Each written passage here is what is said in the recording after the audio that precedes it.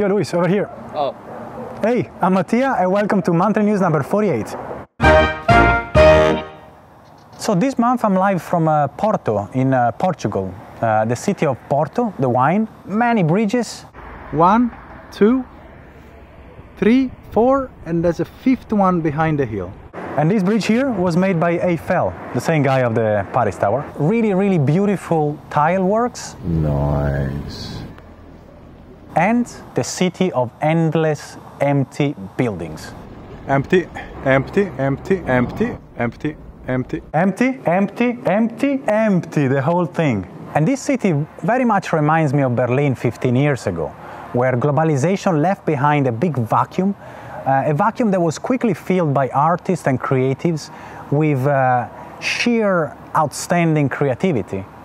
And this community garden behind me is a very good example of this. Back in March, when uh, COVID first hit, the locals uh, reclaimed these old ruins and transformed it into a very nice garden where people and nature can thrive together.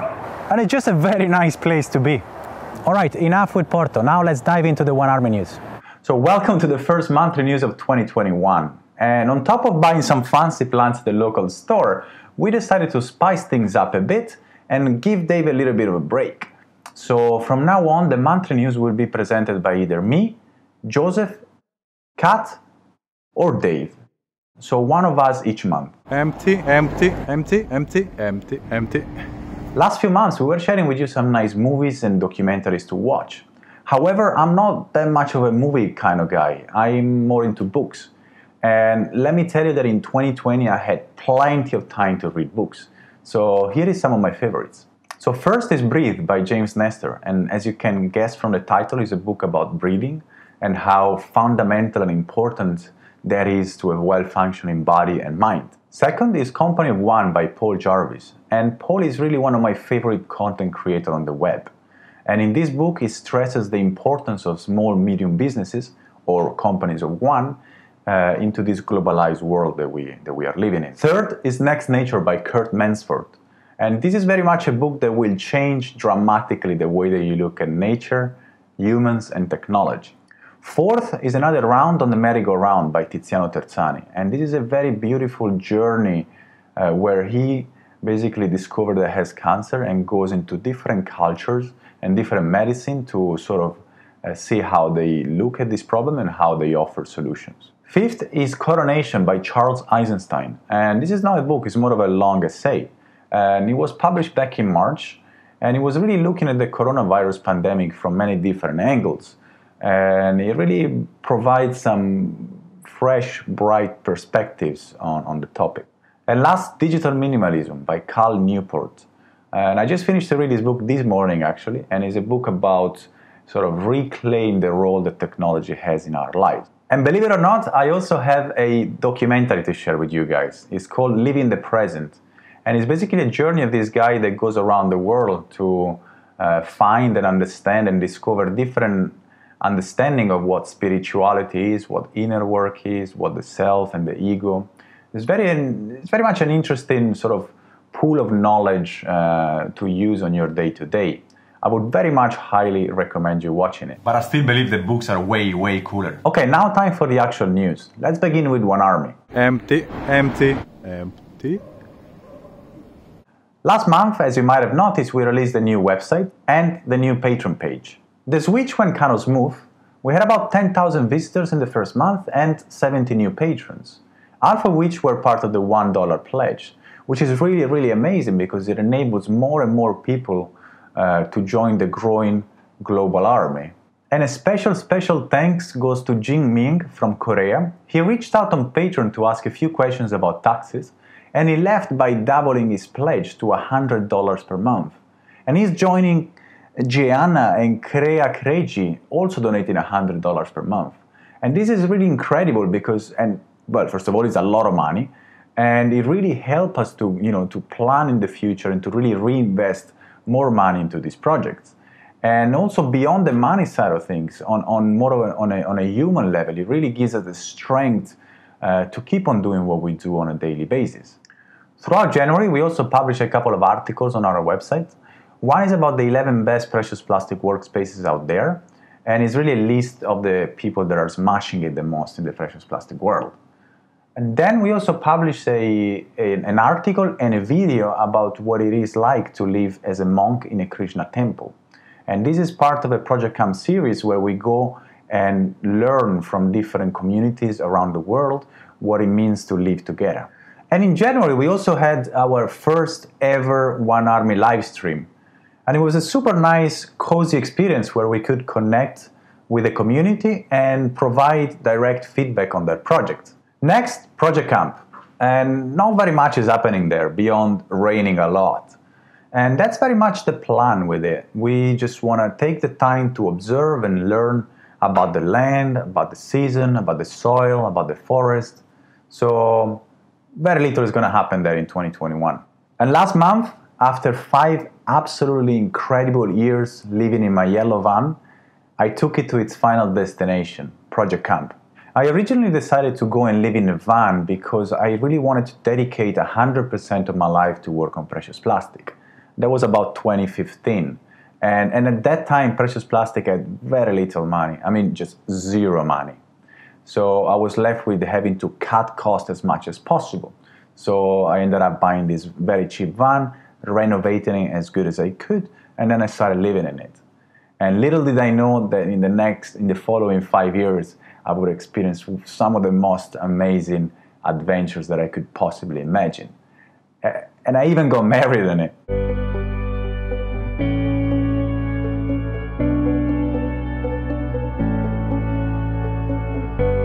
It's been a very tough decision to take it off the road, but it, it had to be done. And I'm gonna try and take it as a non attachment exercise. Plus, it was in the original Project Kamp drawing, so I really had no options there and it's now there providing Dave with some extra solar capacity and some extra room to, to live in this surprisingly cold winter in Portugal. Oh, and before we move on, we just uh, created a new Project Kamp uh, Instagram account where we're going to be publishing more uh, news, stories, and updates in the upcoming weeks. So make sure to follow. Empty, empty, empty, empty, empty, empty. And last but definitely not least, our very dear precious plastic. So the team in France is working full time to deliver the last few starter kits and create very valuable how-tos for the community. Meanwhile, the workspace search is full on. Uh, thanks to Leao from Vivalab, uh, last week we went uh, into in the university area to check out this very big, massive, and beautiful space. Uh, uh, but at the same time, we are still also looking in Germany, in France, in the Netherlands, in Denmark, and I'm very hopeful that we're going to be able to give you some good news in the next few months. And this month I would like to highlight the excellent work of our friends at Tallers Esferica.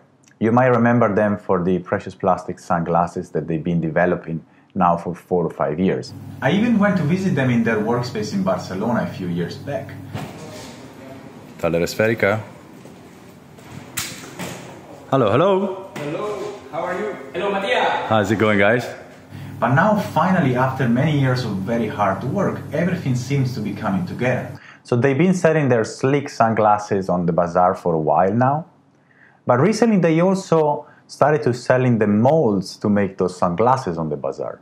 And even more recently, in January, they made a how-to on how to make their sunglasses so that more people around the world can make them. And finally, they are working on a distributed production model that would enable them to, to produce the sunglasses all around the world.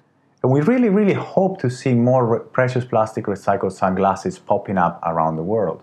And we very much want to thank you guys at Tallers Esferica to keep on working on precious plastic year in, year on, really pushing the limits of what can be done with plastic recycling. Okay, so now let's shift our focus towards the how to's. This month we had six how So for those of you who don't know, how-tos are step-by-step guides that anyone out there can make to tell the world how they recycle plastic. It can be about a new machine hack, it can be a new product, it can be a new way of collecting plastic. And these are incredibly useful uh, knowledge for a community out there because you know this big plastic pollution problem needs to be tackled from many different angles and with many different interpretations depending on the context. Okay, so this month we had how to make a clipboard from Plastmakers, how to design a mold from Tallers Esferica, how to make a bike pedal by Adrian, and this is really, really nice how-to because it's a classic example of one of those products that could easily be made from recycled plastic, but it's not for some reasons.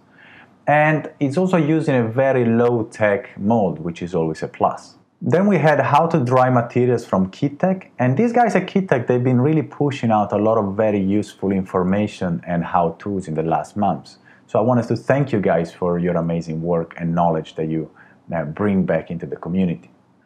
Then we have how to make beam patterns by Yoop, and this really shows the incredible preciousness and value of recycled plastic when it's treated in a certain way. And last but definitely not least, the how-to from our uh, core team in France on how to make a 1.5 meter uh, sheet press. And this is a, sort of a hack on the original sheet press. And you can expect more how-to coming from us in the next few months. So before we move on, I really want to stress how if you are working on precious plastic, if you are experimenting and, and pushing the, the, the, limits of plastic recycling, how crucial it is that you document your work and that you share it back with the community so that we can all move forwards together and offer better solutions to tackle the plastic waste problem. Empty, empty, empty, empty, empty, empty. The whole thing is empty, and I want too. And last, I finally wanted to share with you some precious plastic gems that we found around the web. First, I would like to start by a hack that we, we've been seeing since the very beginning, which is the bicycle shredder. And these hacks, they look really, really beautiful and fun and playful, and they are perfect for workshops as they are very engaging and, and people just simply love them. Um, however, we're not fully sure about the efficiency of them. Already three or four years ago, Precious Plastic Shanghai developed their own version of the bicycle shredder. And right after, uh, our friends at Kunst, in Germany, they also made a video tutorial on how to recreate their own version of the bicycle shredder. And more recently, Precious Plastic Turin uh, shared this image of this incredibly sleek uh, bicycle shredder. And uh, just last week, I also found this guy, uh, Jamil, they made another version of the bicycle shredder from the, the typical Dutch bikes. And we also want to stress how inspiring these uh, hacks are because these are entirely self-initiated by the community. We have never looked into those ones, we have never said that anyone should, but still people motivation went towards that direction and here we are years down the line with many amazing and inspiring uh, sort of creation from people around the world. We want to see more. And last, we've also come across this very inspiring experiment from Recycle Lab here in Lisbon, where they've been testing thermoforming uh, the precious plastic way. And for the past five years, we've been thrown at us this term over and over and over. You could thermoform it. Why don't you thermoform it? And no one really tried it until now. And this guy went all the way and it really tried and it really looks very promising.